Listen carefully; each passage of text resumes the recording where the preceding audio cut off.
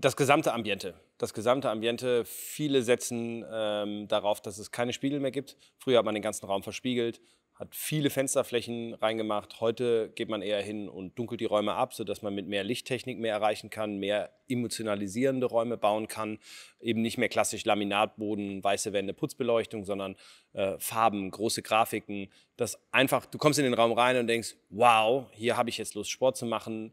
Und bei den Leuten versuchen sie das zu transportieren und das gelingt sehr, sehr gut, dass sie sagen, sie erleben hier was. Sie machen nicht eigentlich Sport, sondern sie erleben was und äh, gehen da mit einem, mit einem guten Gefühl wieder nach Hause oder ja, aus dem Kursraum raus. Ja.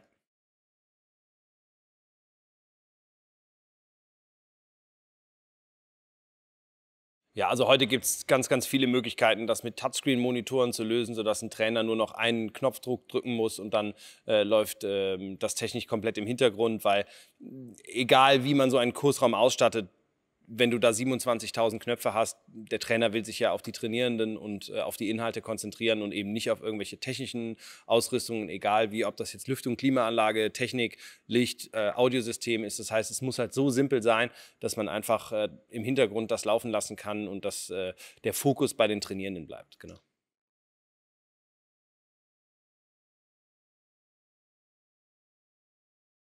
Das ist eine berechtigte Frage und immer ganz, ganz schwierig. Ähm, da geht jeder so einen anderen Weg. Die einen machen ähm, multifunktionale Räume, was sich so mehr und mehr durchsetzt, dass man sagt, ein Raum muss sowohl Yoga können als auch eine wirkliche Pumpstunde mit Vollgas.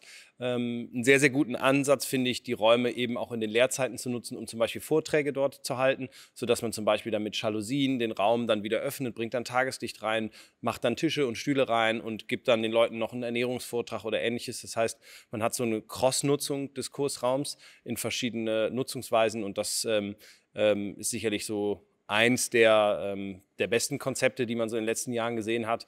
Man kann dann auch nochmal ähm, vielleicht so einzelne Zielgruppen wie Yoga einen separaten Raum nochmal ausgliedern im Studio, weil die natürlich oft so ein Lautstärkeproblem haben, berechtigterweise, ähm, weil die natürlich Ruhe brauchen und ähm, eben nicht, äh, wenn der Cyclingraum nebenan ist, ähm, äh, gestört werden wollen. Also man muss sowohl das einmal baulich lösen, als auch natürlich dann inhaltlich auf seine Zielgruppe abstimmen. Ne?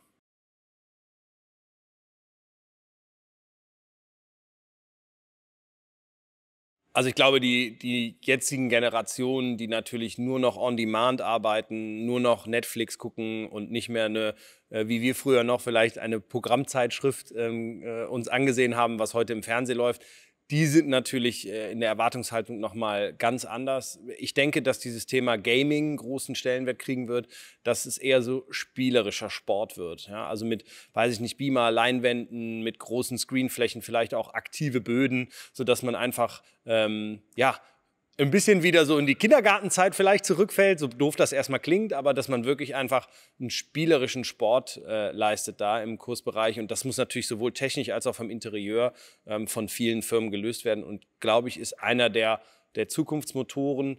Ähm, es würde sich auch anbieten, mit, mit VR-Brillen natürlich zu arbeiten. Das Problem ist nur, dass man ein Hygieneproblem hat. Man kann natürlich in ganz viele Welten dann abtauchen und ganz tolle Sachen mit den Leuten machen, aber bisher hat sich noch nicht so praktikabel durchgesetzt und ich glaube, das wird auch eine schwierige ähm, Aufgabenstellung werden in den nächsten Jahren, dass man das ins Studio implementiert. Ja.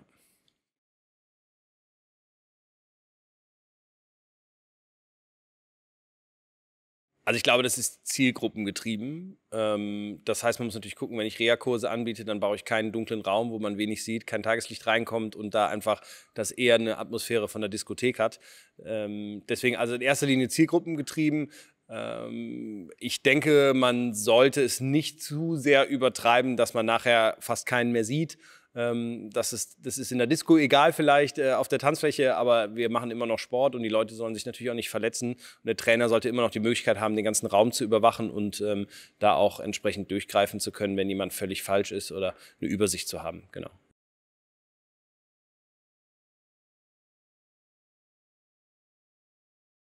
Also natürlich die simple Bedienung im Vordergrund, sodass also nicht dann äh, Trainer erstmal 20 Minuten äh, der Zeit verbraucht, um ein Mikrofon ähm, mit einer Batterie zu versorgen, die er noch vielleicht beim Supermarkt um die Ecke holen musste. Also das kann man heute alles sehr, sehr smart lösen, sodass also das Mitglied auch direkt reinkommt, der Kurs starten kann und gerade wenn Kurse hintereinander folgen, dass die Trainer sehr, sehr schnell wechseln können.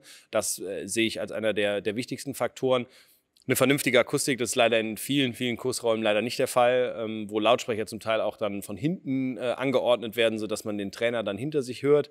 Ähm, also eine gute Akustik ist sicherlich ähm, mit einer vernünftigen Bedienbarkeit für den Trainer das äh, Essentiellste. Und dann im Lichtkonzept und Deko-Konzept ist es halt maßgeblich zielgruppengetrieben. Ob man sagt, man will halt wirklich eher diesen Disco-Vollgas-Flair haben und sagen, die Leute sollen richtig abtauchen und was erleben. Ähm, oder ob man sagt, nee, eher ein bisschen zurückhaltender, Tageslicht, eher Fokus auf Reha, Yoga, was auch immer, äh, in einer anderen Zielgruppe. Dann kann man das auch sehr, sehr schön und hübsch machen. Das ist, wie gesagt, wirklich eine Frage der, der Anforderung je Club. Genau.